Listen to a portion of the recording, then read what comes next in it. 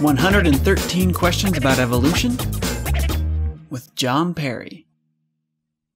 Evolutionary question number 26 What are essential genes and how did they evolve? Hello, my friends, and welcome to another episode of Evolutionary Questions. Today's question comes from Aki. He asks Hey, Jon, are you aware of the latest research suggesting that mutations are not as random as we thought? Certain genes are less protected by DNA repair mechanisms. It goes on a little bit there. But yes, Aki, I am aware of that research. Well, I'm pretty sure I'm aware of the same thing that you're talking about. This paper, published January of 2022, mutation bias reflects natural selection in Arabidopsis thaliana. Arabidopsis thaliana is this plant right here. Geneticists have been studying it for a long time. It's a really easy plant to grow in the laboratory. What they found here is that mutation rates are extremely slow in essential genes. And something that I want to point out here is that they're not saying that natural selection is doing this actively. They're saying that mutation rates themselves are actually slower in essential genes. I've been seeing a lot of interesting interpretations of this on the internet. A lot of people freaking out saying that everything we thought we knew about evolution is now wrong and so on. That is not the case. In next week's video, I will explain why that's not the case. But that's for next week's video. Today, I want to talk about essential genes. What are these essential genes? And again, this paper says that mutation frequency is reduced by half inside of gene bodies. So these are uh, protein coding genes and by two thirds in essential genes. So today we're going to go over what are essential genes and how do they evolve. An essential gene is kind of what you would expect it to be. It's kind of what it sounds like. It is a gene that is so important to an organism that disrupting its function results in cell death. If you're a single celled organism, that's just your death in general. Or if you're a developing fetus, developmental failure. And what do I mean there by disrupting a gene's function? What, what does it take to disrupt a gene's function? Some of these genes, in order to disrupt their function, you have to mutate the heck out of them. Lots of mutations, or maybe even a, a full scale deletion. I mean, that'll definitely do it, right? That'll definitely disrupt that gene's function. But some genes are so entrenched such an essential part of a cell's function and so important to be exactly the way that they are that even point mutations, single point mutations, can cause a disruption in these genes. These are essential genes. Let me give you an example of an essential gene. One of the most essential genes known in the human genome, the H4 histone gene. This is a protein that it codes for. This is the H4 histone protein, this little green thing here. This is sort of a rough approximation of what that protein looks like in ribbon form. And what this protein does is it combines with other proteins. Those proteins bind to DNA and are very important for how DNA is packaged inside of cells, inside of plant cells and inside of animal cells. And so if you mutate this gene, the gene that codes for this protein, well, that will change the protein's shape. And if you change that protein shape even a little bit, this whole structure fails DNA could not be properly packaged inside of cells, and so the cell dies. This is an extremely, extremely essential gene. How essential? How sensitive is it to mutation? The histone H4 gene, it codes for a protein that is 102 amino acids long, that, that green protein we just saw. 100 of those amino acids are identical in both plant and animal cells. This suggests that only two non synonymous mutations have survived in over 1.5 billion years of evolution because 1.5 billion years ago is when plants and animals split from each other. That's when they shared their common ancestor. This is an extremely essential gene. Other essential genes can actually withstand a lot more mutation than that, but this is an extremely essential gene. And when we find genes like this, it forces us to ask the question how did that gene evolve? How did organisms evolve with only part of that gene? Or maybe not that gene at all, right? I mean, of course, there was a point in history where that gene did not exist. How on earth were organisms surviving back then if this is an essential gene? It turns out that humans have over 2,472 essential genes, probably more than that, actually. The way that we come to this number is we do experiments on mice, mice that have a lot of the same genes that humans have, and we've figured out that 2,472 of our shared genes with mice are essential for the mouse's survival. One of the main ways that you figure out if a gene is essential or not is you mutate it and then you see if the fetus will still develop. And of course, that's not really ethical to do with humans, so we do that on mice. That means you got to take that number with a grain of salt. But still, how did our ancestors survive before all 2,472 essential genes evolved? It might be worth putting that number in perspective. Humans have uh, roughly between 20 and 30,000 protein coding genes, 2,472 that are essential. That represents about 10% of our protein coding genes. So how did our ancestors survive before all 2,472 essential genes evolved? Well, essential genes start out as merely profitable genes. There are many ways that that can happen, but there's three that I want to bring up here because they're so important and they're really cool concepts to think about in evolution. So, traits that start out profitable can become essential through what's called scaffold removing. So, other genes will atrophy after the new gene evolved because they're no longer needed. That new gene does something that they used to be doing. And so they can then atrophy. And once they atrophy, that new gene is essential. Entrenchment is another way. So mutations or other adaptations throughout the genome can build upon the new gene, forming dependencies. An example of this, like let's say you have a gene that causes better blood circulation. Well, that allows for future mutations elsewhere in the genome that will cause denser body tissues to form in the organism. Those denser body tissues were not possible until we had good blood circulation. Now that they are possible, and now that they exist, now that they have evolved into existence, well, you definitely can't get rid of that gene that causes really good blood circulation because now the rest of the organism depends on that. That's called entrenchment. And then finally, there's niche expansion. The British folks like to call that niche expansion. A profitable gene can allow organisms to survive in environments that used to be deadly. Once established in a previously deadly environment, a harsh environment, that profitable gene is now essential. And of course, ecological scaffold removal. And that's where a niche where it used to be really easy to survive in, where, where the organism first evolved in, that niche can disappear the population has evolved a new gene that allowed them to expand their niche. And then the original niche where they came from, that ends up getting destroyed through some sort of ecological, you know, whatever, climate change or something like that. And so now that that ecological scaffolding, so that that was there for them to evolve this new gene in the first place, that's now removed and they're completely dependent on the new gene and is absolutely essential for the entire species now, not just that one population that lives in the harsh environment. It's now essential for everybody. All right, so I've given you a bunch of concepts here and bullet point lists of stuff. And I showed you this histone coding gene that's essential for humans. But talking about genes, which are these molecules that interact with their environments in, in ways that are really foreign to us, it can be kind of hard to follow these arguments. And so I want to bring this home somehow. First, I want to talk about human civilizations. And then I want to talk about organs, how organs actually evolve.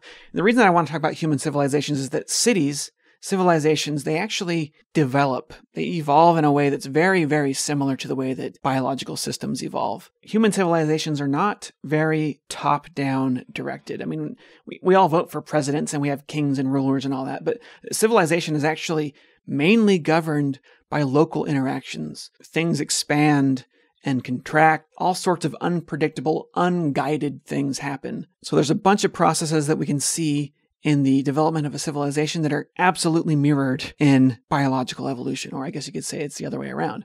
Civilization development mirrors biological evolution. This is the city of Montreal. There are a lot of essential structures in this city. Back in 1998, one of the essential genes, you could say, of the city, the essential traits of the city, electricity, was destroyed. We had a huge, huge ice storm. Several inches of ice were covering everything in the city, and that absolutely destroyed power lines. There were seven days of ice that left people without electricity for 30 days, and it caused total chaos. There were accidental fires as people were trying to heat their houses with fires, and a lot of people didn't really remember how to use a fireplace because they hadn't used it for so long. There were suffocations, people getting too much smoke in their house. There was death by freezing, people who just couldn't get their houses warm enough, and the military had to come in and rescue people. It was insane. They would set up generators at schools, and people would just go live in there and, and camp inside the gym. It was nuts. Absolute chaos. And this is really interesting to think about because, of course, when the territory now known as Montreal was first colonized by humans, they didn't have electricity when electricity was made available, it was profitable. It was not essential. It was not essential to anything. Eventually, though, electricity became essential. And how did it become essential? Well, first off, you have scaffold removal. People who used to know how to light fires in their fireplaces, and they had wood stored to keep those fires burning. Well, they stopped storing wood and they stopped cleaning their chimneys and they stopped practicing fire building. And so you had all these fires and you had people suffocating of smoke and so on. That was atrophy, scaffold removal. You have entrenchment. Electricity in Montreal has become absolutely essential because our heating systems, they depend on electricity, most of them, not all of them. A lot of transportation depends on electricity. In order to distribute food to the people, you need to run stores, and those stores use electricity to operate. They use electricity to power the lights and the heaters of those stores, and they use electricity to process transactions. So people weren't able to buy food. Even if you wanted to just buy your food in cash, don't use your credit card and stuff like that. Well, you can't because you can't get cash because the bank's not working. So everything failed because of the entrenchment of electricity in Montreal. And then last but not least here, you've got niche expansion. A lot of people who couldn't handle fluctuations in temperature lived in Montreal. People who are really old or really sick, they were able to establish themselves in Montreal just fine, even though they were old, even though they were sick, because they had electricity there. Well, once that electricity was removed, Montreal became deadly. So again, traits that start out as being profitable can become essential through scaffold removal, entrenchment, and niche expansion. Now, every time I do a lesson about evolution and I, I mention cities and I use examples of cities, I always get creationists who say, well, cities were intelligently designed by humans. And of course, that is partly true. I mean, the city itself isn't really designed, but there is some city planning, which is done intelligently. And of course, all of the little inventions and stuff that we talked about were designed through intelligence. So, yeah, let's just go ahead and accept that criticism and let's look at biology. Couple years ago, I did a talk, which I've got a link to it in the video description, over an hour long. What evolved first, the brain, the heart, or the stomach? And I'm going to take some slides from that, and I'm going to talk about the evolution of the heart. Which evolved first, blood, blood vessels, or heart? And I'm going to talk about blood, blood vessels, and the heart instead of talking about genes specifically because these structures are more relatable to people than genes. Tetrapods, which includes reptiles and mammals and amphibians, all the backbone things that live at least partially on land, we all have very complicated hearts. Multiple chambers, there's a really strong muscle in there that's constantly pulsating. It is a very complex structure, and it is essential for our survival. And so the question you can ask is how on earth did our ancestors survive without a heart if the heart is essential? The same goes for blood vessels and blood. Well, if we look at the tree of life, if we do a little bit of comparative anatomy to different organisms and different parts of the tree of life today, we can put together a rough sketch of what happened, how it is that the heart evolved. It's not going to be a perfect picture, of course, because the organisms that are alive today, they've been evolving forever, just like we have. And so when we do comparative anatomy, even if we're looking at organisms that are really distantly related from us on the evolutionary tree, they're not really perfect representatives of our ancestors. When I look at the flatworm here, for example, we did not evolve from flatworms. Humans and flatworms evolved from a common ancestor, which would have had common traits. But we can put together a rough sketch of what happened, how it is that the heart evolved. The simplest animals on our planet are sponges, and sponges live just fine without a heart. The pros of being a sponge is that the ocean is their blood, their cells are loosely packed, and they don't do much work. The cons is that they, they can't live outside of nutrient rich areas of the sea. The ocean is their blood, and it has to be really nutrient rich in order for them to survive. And then, of course, the con is that they can't play video games. they don't have much energy compared to other animals, and they can't move around freely like other animals. Here I've got cnidarians. I don't really want to talk about them. Let's look at the flatworm. The flatworm also doesn't have a heart, it doesn't have blood vessels, it doesn't even have blood. It also uses the ocean as its blood. But on top of that, it roams around searching for food. Because it can roam around and search for food, it doesn't need the ocean to be as nutrient rich as the sponge does. Like this thing can actively search out food. That said, it does have problems processing oxygen. In order to make sure that oxygen gets to every one of its cells, this organism is highly limited in size. They cannot get very big. If they get too big, their tissues just start dying because they can't get enough oxygen. And flatworms are stuck being flat. Being flat gives you a large surface area for oxygen to be passed from the water to your cells directly. That's how they survive without having blood vessels and a heart. If we move further still, closer to tetrapods in the evolutionary tree, we find things like acorn worms, hemichordates. They're actually hollow on the inside, and that allows their gut. So the, the green thing here is the gut of this organism. They they eat food. The food goes into their their little mouth part here. That food is processed by the gut and then particles are transmitted through this liquid in the body cavity here, the coelom. It's distributed to the cells of the body. So being hollow is another way to increase your surface area, just like being flat is a way to, to increase your surface area. But being hollow like this allows for a lot more structural exploration. Hemichordates are a lot more diverse in form than flatworms are. And if we zoom in at the top here, we see that they actually have the beginnings of a circulatory system. There is a muscle that can pulsate in the head of an acorn worm, and that squishes this little bulb here. And that bulb, I've drawn it a little bit more simple than it is in real life. It's actually kind of a mess of a structure. I'm drawing it here as a tube that just has a hole at the end. It's actually just the tube itself just kind of opens up into the coelom, the general body cavity, and there's all kinds of folds in it and weird little structures. But as the head moves around and as this little muscle flexes, liquid gets sucked in and squirted out of this tube, and that causes circulation. That speeds up oxygen flow inside this organism's body, and it speeds up the flow of nutrients inside this organism's body. It's called an open circulatory system. Very, very primitive. If we move up, again, getting closer to us organisms with complex hearts, we find lancelets.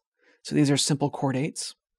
And if you look at them, they have a closed circulatory system. They don't have true blood yet. So I've got blood vessels. Blood is in quotes here because their, their blood isn't really true blood. There's no blood cells. But they do have vessels and they have a closed circulatory system, forming a big network of vessels. And these vessels themselves can pulsate. The vessel walls are lined with muscle and they can pulsate, allowing the transfer of nutrients and oxygen throughout the body. They don't have a heart, but they have pulsating blood vessels. This circulatory system isn't super efficient compared to the circulatory systems of organisms that have hearts. A heart is way more efficient than this. And because of that, these animals also can't get very big. They're very restricted. This restriction is due to their poor circulation, which makes it so that cells can't get enough oxygen or enough nutrients if the animal gets too big. The heart evolved from arteries in really small organisms. Next up, we're going to look at a hagfish. In hagfish, we start to see a very strong division of labor in the circulatory system. Instead of having muscles all throughout the whole thing that pulsate, those muscles have moved pretty much entirely into a single bulb in the chest. In bony fish, we have what sort of looks like a four chambered heart in tube form. Everything's all spread out. And then in amphibians and other tetrapods, we see that all those sacs condense into the single multi chambered heart that you and I are all familiar with. Essential organs evolve in the same way that essential genes evolve. Again, an essential gene is a gene so important to an organism that disrupting its function results in cell death or developmental failure. And how is it that essential genes evolve?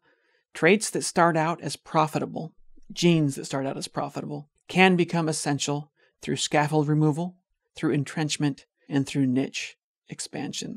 Just like we can trace the evolution of the heart and the circulatory system, and we can find that there are ways where the evolution of this system would have been profitable but not essential in its early starting. Genes start out being profitable and then become essential through the process of evolution. And these here are some of the evolutionary dynamics that cause that to happen. Next week, I will finish answering Aki's question. If you want to hear that, make sure that you are subscribed and that you hit the little bell icon. So long for now.